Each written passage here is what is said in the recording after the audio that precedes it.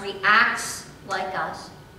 An angry God, a God who is vengeful, a God whose justice is punitive, whose passion is to be successful, and whose heart is dark with prejudice. I dare say that is the very God that we will find. Because we see what we expect to see.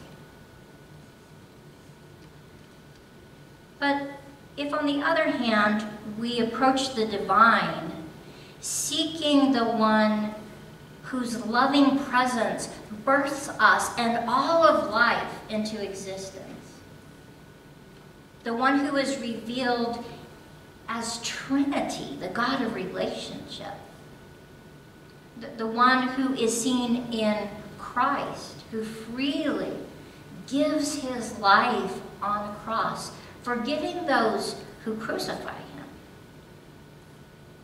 If we look for the one whose justice is restorative, whose mercy is beyond measure, and whose love is unconditional and without end, if this is the God we are searching for, then most surely this is the God that we will find. The question then falls to us, much like it did to Elijah. What are you doing here? What are you, and each one of you, what are you doing here?